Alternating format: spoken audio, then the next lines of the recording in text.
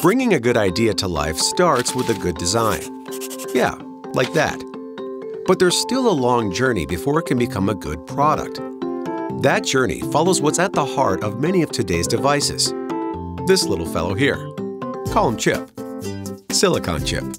Chip starts out on a big silicon wafer, which goes through a complex process that creates billions of transistors.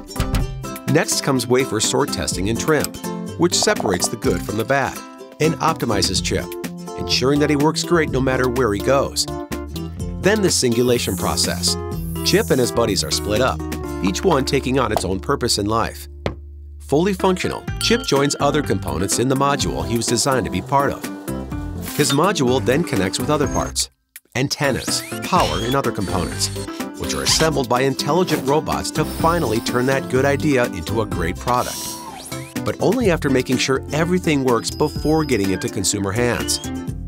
That long journey from idea to product is what Teradyne enables through testing and factory automation solutions. In design, LitePoint Lab products help with prototyping and verifying the idea, ensuring it will work before starting production.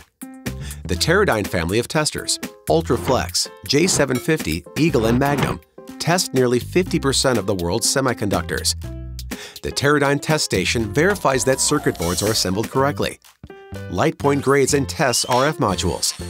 In product manufacturing, Teradyne's universal robots assemble everything precisely the same way every time. And at the end of the journey, LitePoint tests the final product in its final form to be sure it comes to life the way it was designed to.